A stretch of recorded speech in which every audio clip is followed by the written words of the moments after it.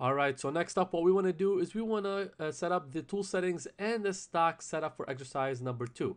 Now, if I open up my Mastercam flowchart, uh, what we needed to do for the first two steps is select the machine type and the geometry. Now, we've done both of these already.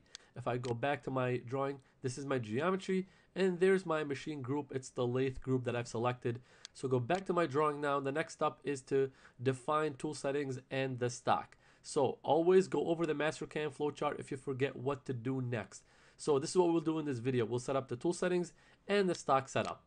So come over here under tool settings and click on it and type in 2 for program number 2 and go ahead and select all the options on the right including the advanced options as well. Now for the sequence number again I like to use um, 1 and 10 you can use whatever you like you can have them start at 100 if you like but I like to use 1 and 10. That's just my preference. And let's go to stock setup. Now remember, we have to change this from top, okay, to plus D plus Z over here and select OK. And then go to properties for left spindle. So for the left spindle, for the OD, remember we have a 1 inch OD, so change that to 1. And then for the length, type in 1.375 and select use margins. Now remember, we always like to add margins at the end. Now, if you've noticed something here, what we've done is it's from the origin all the way back here, and there's our uh, I or OD of the part, okay? Now, we've noticed something real quick over here. This, don't get confused with the where the stock is, which is right here to the origin box, okay? So a lot of people might look at that and say, well, these dashes look very similar, but as you can see, these dashes right here are a little different than these. So the stock box is actually over this box right here. So the best thing I like to do to make sure that I'm looking at the right thing is actually just check OK. We're going to leave the margins at zero for now. Check OK, but then check shade boundaries. Okay, remember the shade boundaries we, we used in the last exercise? So just make sure you check that out. And then now you can go back to properties. So now when you update anything in the margins, you'll see this update as well. So this is your stock and this is just your origin box, okay? So for the origin, for the OD, we're gonna add 0.1 to the OD. And for the right margin, we're gonna add 0.1 to that as well.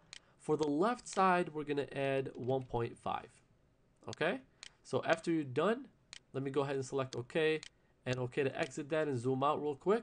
This is the stock you should uh, get. Now, our part was 1.375 and I added 1.5 on the left side of that. Do I need that? Definitely not. So this is where you can come in and uh, change that. But obviously you want to change the length of the stock to the length of the block that you actually have, not to whatever looks good, okay? But for our sake over here, we're going to change this to um, a little bit less. We'll probably make it just one inch. So left margin, just one inch and select OK. All right, and so for the left spindle over here, select properties Make sure the first one is selected over here. Okay. Use stock.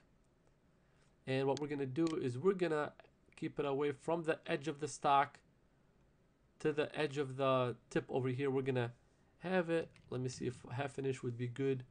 I'm to move it up to the left. Even a little bit more would be good too, 0.75. All right, select OK. So we've set up our stock and our chuck jaw right now. I'm going to zoom out after I'm done so you can see this real quick. But that's it. Select OK and zoom out real quick. And there you go. You'll see your chuck jaws holding your part. And again, you can come in, change the colors of the chuck jaw or the stock if you like. This is just for your reference, okay? But there you go. Looks good. We got our stock a little bit bigger than um, you know, the, the stock a little bit bigger than the part. Now, because this is such a small part, uh, you're welcome to cut the initial stock or you know the beginning stock a little bit less because that's a lot of material that excessive material. So whenever you create a stock you want to begin with a stock a little bit bigger than your part not too much bigger. So for our sake again we're going to change I'm going to change the stock to 0.05 instead of 0.1 and to do that like I said all you need to do is keep clicking on the tool settings or the stock setup and then go to your stock properties and change it and then press OK to accept that. And now as you can see, it updates our chuck jaw and that's one of the reasons why I wanted to show you. Now our chuck jaw is back uh, cl clamping on the OD of the part of the stock.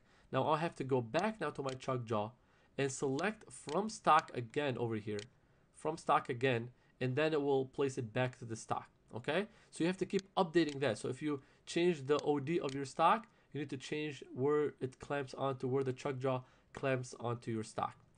There you go. This concludes this video of the tool settings and the stock setup.